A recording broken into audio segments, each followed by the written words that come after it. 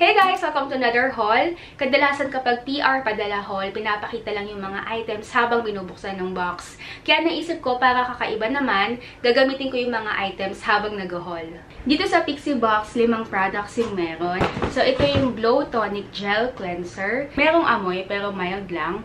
Tapos kapag nilagay na sa mukha, Ayan. Light lang yung feeling, hindi siya mahapde. Kasi namang sunod, yung Glow Tonic na toner na 5% glycolic acid din.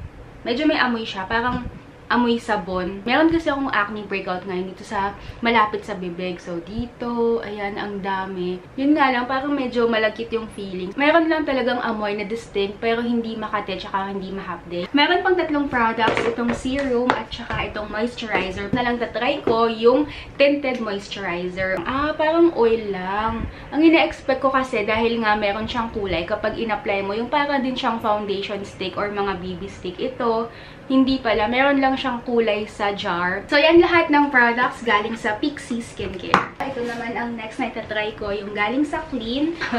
Mas malaki pa nga yung freebie kaysa sa mismong mga items. So, merong freebie na travel bag, tsaka yung mga travel pillow and mask. Para tipid ang ginagawa ko, hinahati ko yan. Hindi ko siya ginagamit ng buo. Kasi kahit nakalahati lang, ayan no, saktong-sakto naman siya. So, yan ang cotton galing sa Clean Cotton Rounds. So, ito naman ang galing sa Althea. So, hashtag Althea turns 4. Ito yung Rose Quartz Roller. Mas maganda to kapag gamitin ng galing sa ref. Itong malaki, pwede siya all over the face, sa forehead. Ayan, ang sarap. Parang somehow, namamassage ka na din. Bukod sa nagsa-skincare ka, namamassage na.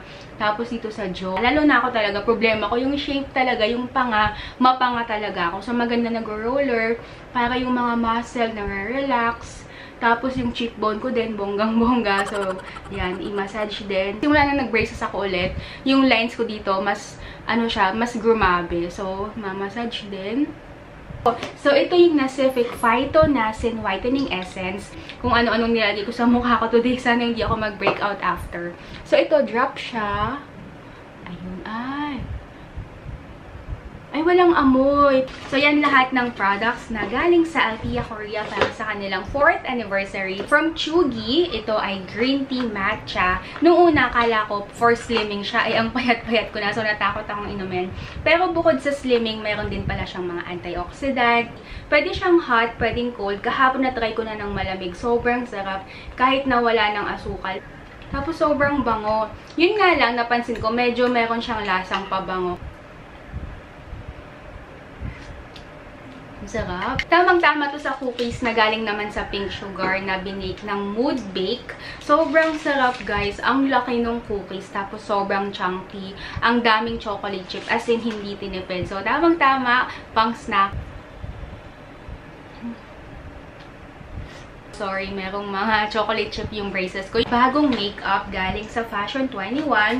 So, meron dito nung primer spray. Hindi ko nalalagay ito kasi ang dami ko nang nalagay. Tatakot na ako baka ma-breakout ako. So, ito, try natin yung concealer. So, meron ditong apat na shades na nakakatuwa kasi ang ganda ng packaging. So, apat yung shades. Merong fair, light, neutral, at saka tan. Ita-try ko tong tan na shade. Tamang-tama kasi ang dami ko talagang acne breakout. Hindi ko alam kung ano yung bago kong nagamit gamit. So, hormones talaga yan. Ang dami dito. Ayan. Wala siyang amoy. Tapos, yung applicator naman niya, wand. Yun nga lang, parang medyo watery. So, ito yung shade niya, tan. Watery siya. Ma mala malabnaw. So, kailangan mong i-blend. Tapos, light lang. So, tingin ko, itong concealer ng Fashion 21, hindi siya pwede dun sa mga bumpy. Tulad nito, ang laking bumper. Yung powder nila, apat na shades din. Hindi nakalagay yung shade, pero merong number. So, number 1, number 2, number 3, at number 4. Loose powder number 2. Usually, ang ginagawa ko kapag gumagamit ako ng ganitong powder, yan. Sinishake ko siya ng merong takip. Tapos, pagbukas mo, ayan, ready to use na siya. Ay, parang may glitter. Ay, oo. Ang daming... Madaming kinang. Glittery. Sa umaga kasi, hindi ko masyadong bet yung glittery kasi magmumukha kang Edward Cullen na kumikinang-kinang sa umaga. Parang hindi na-cover yung mga blemishes. So, yan ang makeup na galing sa Fashion 21. Sunod naman itong galing sa Pink Sugar. Sa kanila din galing tong cookies na sobrang sarap. Merong apat na blush and contour duo eyeshadow. Yung eyeshadow, nagandahan ako sa shade. Kahit naman wala kang mga mamahaling brush, kahit kamay lang, pwede ka na ding makapag-makeup. Hindi ko makita kasi meron na. So, sa kamay na lang, ayun. Pigmented naman siya. Tapos, hindi siya powdery. Yan. Ganda ng shade. Pinagpipilian ko itong parang orange, red, at saka itong coral, tsaka brown. Itong reddish, at saka itong coral. Ay, ang ganda. Hindi siya chalky. Ay, ah, light lang. Okay. So, meron kasing mga blush na kapag in-apply mo, yung nakakagulat na, ah, pula agad. Ito hindi. So, at least buildable. Medyo mapula yung contour para ipang contour. Pero itatry ko na din. Kasi red siya eh. Siguro dito na lang din siya. Ayan. Ayan. So, yan ang blush galing sa Pink Sugar Sweet Cheeks. Bagong-bago na galing sa Maybelline. Ito ang kanilang sensational lip tint na ito daw ang kanilang first ever lip tint. Pero alam ko meron sila dati. It comes in 10 shades. Ito yung gusto kong itry. Best Babe. Parang hindi lip tint. Yung formula niya, yung feel niya, parang melted lipstick. Ganon siya. Kasi medyo heavy siya. Medyo mafe-feel mo na meron pa din. Tatry kong uminom kung maiiwan ba sa baso. Ayun, medyo may nag-transfer. Maganda naman, kaya lang, uh, parang mas maganda pa kung mas light yung formula para lip tint lang talaga. Meron din naman ito, galing sa Tokyo White. Ay, ang, ang bango. Ay, ba yan? Ayaw magpagamit. Open na nga lang. Sobrang creamy, sobrang lapot niya. Ayan, parang pwede mo na nga itong gamitin sa mukha. Ito so, sobrang lapot. Pero ang ang bango niya! Meron sila nitong soap, guys. Yung soap naman nila, kaamoy din ng lotion. Sobrang bango. Ang sarap maligo siguro, tas matulog after ito yung gamitin mo. So, yan ang whitening soap and lotion galing sa Tokyo White. Ito naman galing sa I Am Kitty Purry na bandana para sa mga pets. So, ito yun nga, nilalagay siya sa leash, tapos i-leash mo yung aso mo. Tapos, meron silang bandana na ganyan. So, kung gusto mo lang cute yung mga aso, ayan, galing siya sa Instagram, I Am Kitty furry. Sobrang cute ng packaging. So, isang set na, hindi mo na kailangan mag-isip. Tapos, iba-ibang klase. Hindi mo na kailangan isipin kung ano yung mga kailangang partner. So, ito, meron siya for glass skin, for moisturizer, and blemish rescue series. Natatakot lang ako, baka tagyawatin ako after sobrang dami kong ginamit today. Usually, hindi ako gumagamit ng sabay-sabay na products na bago lahat. Try ko tong Glass Skin Rosy Glow Face Tonic. Tamang-tama kailangan kong tanggalin yung mga nilagay ko pag in-apply mo siyang ganyan, na natatanggal, medyo merong konting Cuttle factor, pero hindi naman siya mahapde. Meron pang bagong dumating na mga boxes na sasama ko na din sa video na to. So, unahin ko na itong nasa puting box. So, ito ay galing sa DS Laboratories Vetsum Neck and Double Chin Contour Treatment. Ito guys, di ba na-mention ko kanina na problema ko talaga yung panga. Tapos ito, parang kahit payat ako, parang may double chin ako. So, hindi mo na kailangan magpa-procedure sa mga clinic. Ikaw lang mismo sa bahay. Tapos, yan, easy to pump lang. Tapos yung product, clear gel siya. Tapos, ida-direct lang itong i-apply. Two pumps ilalagay dito sa may chin area, tapos sa upper neck para makontour. So, pag na-apply na, imamassage lang ng konti. Ang maganda, wala siyang Walang amoy, walang kahit na anong amoy. Tapos wala ding makate, walang mahapde. Hindi siya nagta-tighten. So, para ka lang naglalagay ng regular na face product. Gusto ko talagang i-review to kung effective ang Vexum Neck and Double Chin Contour Treatment. Galing to sa Bello Collagen Melon Smoothie. Tapos, meron din itong tumbler. 10 sachets yung laman. So, ito, ibubuhos lang yung content sa baso.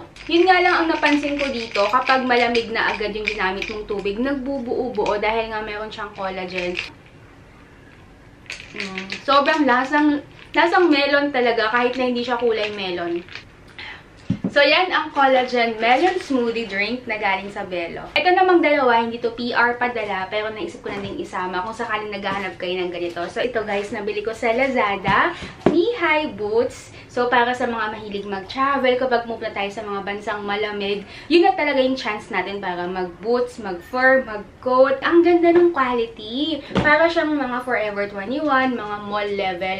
Pero, halos one-third yung price niya. So, ito wala siyang zipper, walang tali, stretch material. So, tamang-tama kapag naka-skirt or naka-dress ka, maganda yung forma.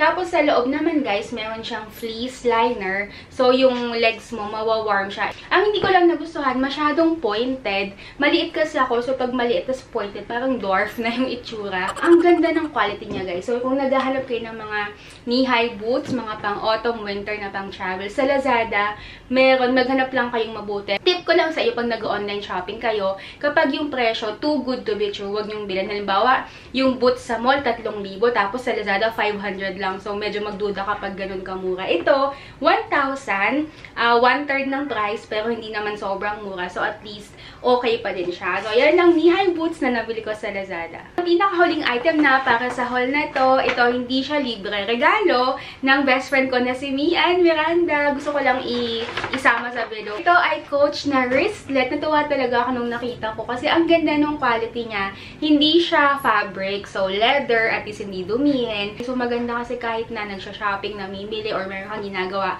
hindi mo kailangan itindihan na baka maipatong mo sa merong strap. Tapos sa loob naman, meron siyang malaking um, space for siguro wallet or susi, mga cards. Yung phone, trinay ko. Trinay ko yung phone ko, hindi kasha eh, malaki kasi. Tapos meron pa siyang maliit na pocket siguro sa mga cards or konting bills. So, yan ang coach na wristlet na galing kay Mian at saka kay Chris na boyfriend niya. Fiancé, actually. So, kung hindi nyo pa napanood, guys, panoodin nyo yung vlog namin ni Mian. Yung best friend ko. Sobrang laugh trip lang, tsaka food trip talaga yung vlog na yun. So, yan ang aking haul ngayon. Sana nag-enjoy kayo sa video na to at nagustuhan nyo ang mga items na pinakita ko. For more information, check description box. Tapos, kung first time mo lang ako napanood, please subscribe to my channel.